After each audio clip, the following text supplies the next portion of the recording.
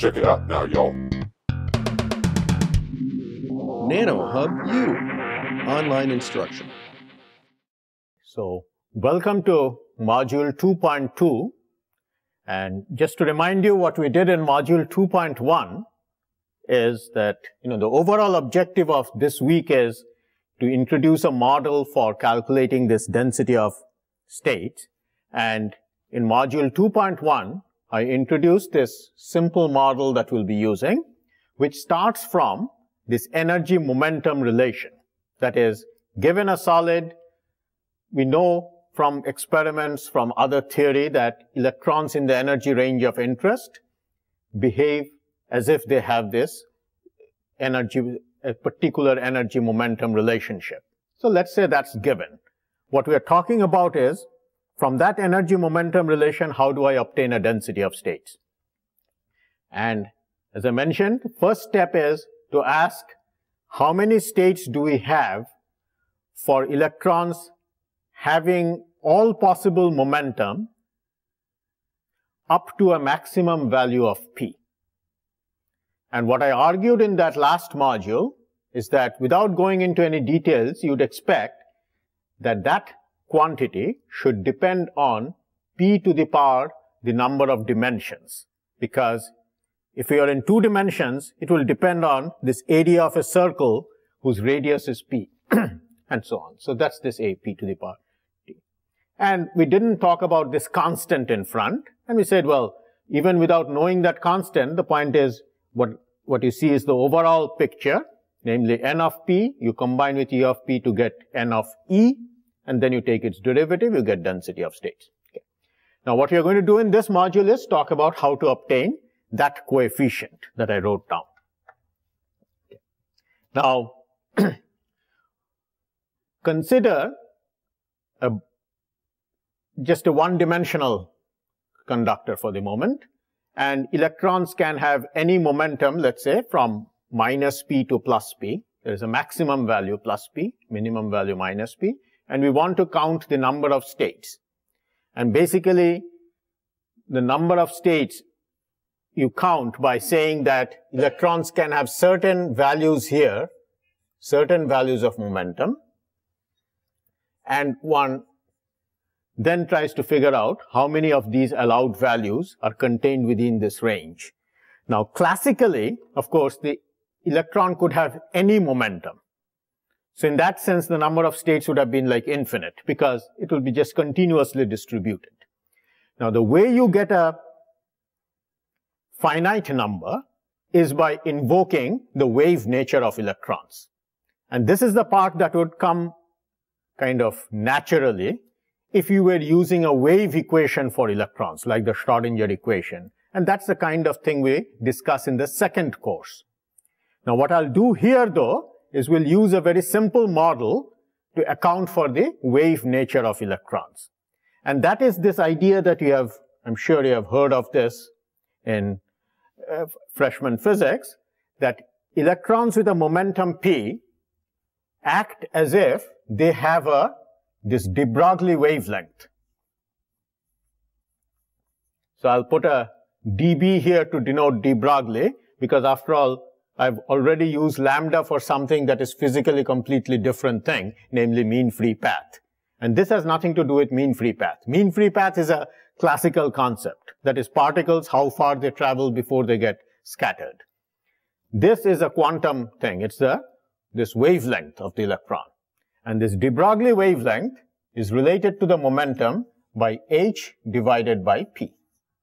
So a given electron with a momentum p has a de Broglie length, wavelength given by this. Okay. And then the way you argue that momentum can only have certain values is by saying that if you have a box of length L, then you see the electron wavelength must fit into this box. Kind of the way classically, if you had, say, a guitar string. So supposing this, instead of being a box containing electrons, was actually a guitar string on which you could have acoustic waves. Then as you know, like on a string, usually you could have acoustic waves with any frequency or wavelength. But once you pin it down at the two ends, that's when the acoustic wave must fit into that length, which means its wavelength must be, must fit into this box. And that's what gives rise to these specific values of wavelength, which translate into specific values of frequencies, which is why a guitar string has certain resonant frequencies. So, of course, electron waves are totally different from acoustic waves, very different things physically, but the math is kind of similar. The idea is kind of similar. That what you say is that the electron wavelength must fit into this box. And so we can say that the length of the box must be equal to some integer.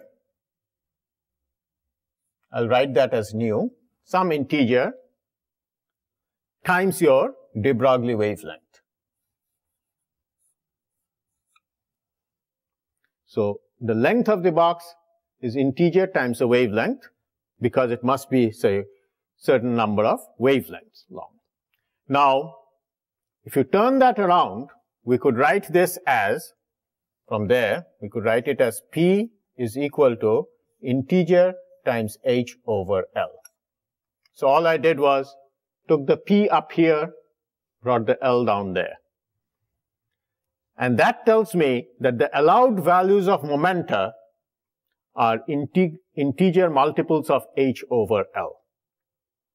So when I have a range of p's like this, the allowed values of p will all be spaced by h over L. That's it. And now you see I can count how many allowed states I have and thereby I can evaluate that function I defined earlier, this n of p. So let me move this out of the way. Just write that here. Take this off. So how many states do I have? Well, n of p is equal to the total range is 2p and you have divided by h over L. So that's equal to p over h times 2L. So this is the result for n of p in one dimension. So as I had said earlier, in one dimension we expect it to be proportional to p to the power 1. But now we also have the constants that go with it. Now you could do a similar calculation now, if you want, in two dimensions. So in two dimensions you could do something like this.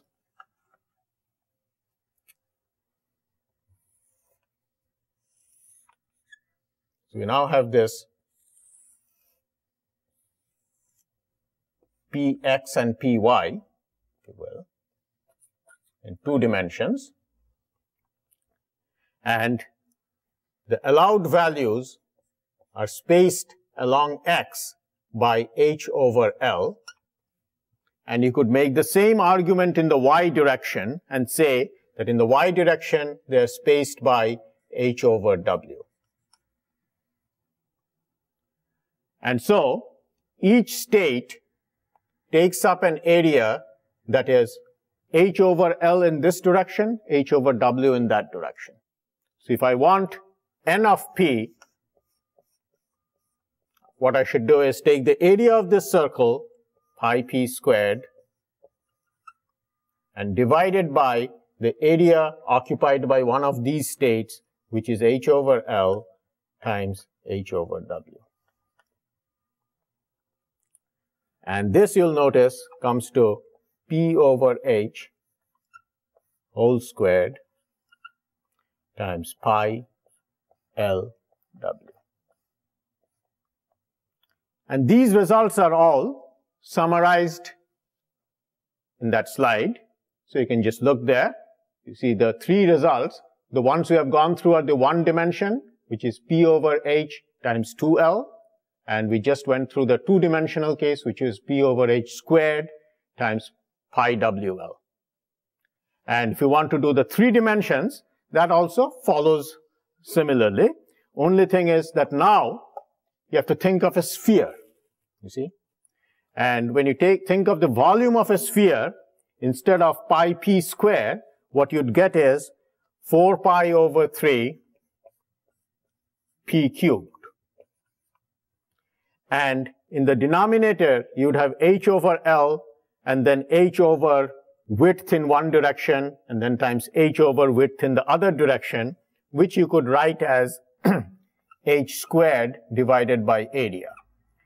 And now if we again just simplify it a little, it will look like p over h whole cubed and then 4 pi over 3 AL. And that's the last one I item up there. That's the three dimensional. So this is the basic result that we were trying to obtain. And you'll notice then, of course, when going through this algebra, if especially if you're seeing it for the first time, it's easy to get too buried in the details to get the big picture. And the big picture is that classically electrons could have any momentum. In order to get a countable number of states, invoke this wave nature of electrons. And the basic idea that waves have to fit into a box, that is, wavelengths have to fit in there. The same principle that gives guitar strings specific resonant frequencies and doesn't allow it to generate frequencies other than those specific ones. It's a very different physics though, but the math is similar.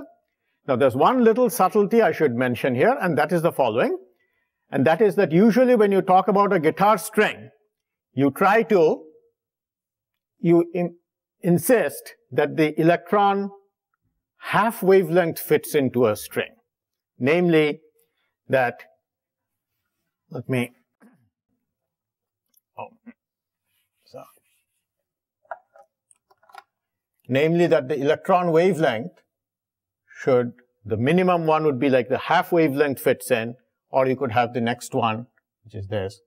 Now, but the way I did it though, you'll notice, is we said that the length should be some integer times the wavelength rather than put a half wavelength. So I did not have a half here.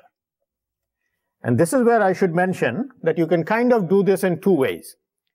One is you could use this half there, but in that case, when you count states, you should only be looking at positive momenta. Only this part of the thing. Because when you look at a thing like this, if you wrote the actual equation for this, it would be like, say, sine P px type of thing. And sine minus px is essentially the same function. So a minus p and a plus p, you don't really talk about minus p's in this picture. You just count this much. On the other hand, the way we did it, we took this entire range. And that corresponds to what people call periodic boundary conditions. Namely, that is, instead of thinking of a string that is pinned at two ends, you think of it as if it's a ring, as if the left end is connected back to the right end. So that what you have here is waves that are running around the whole thing. And when it is running around the whole thing, it means you could have a plus p that is running in one direction and a minus p that is running in another direction. And so you count the entire window. But now, of course, the states are, you don't include the half here. Now, regardless of how you count it, finally what you get for this function will look the same. In one case, you will count the entire range 2p and divide it by this h over L. In the other case, you would just count a range of p, but then you would use only half of the states would be spaced much closer because it would be in multiples of half a wavelength. But however you do it, the final result is the same. And this periodic boundary condition, this idea that, okay, here's a solid, and you think of it as if the left end is connected back to the right. That's this what's called the periodic boundary condition. And that's very widely used.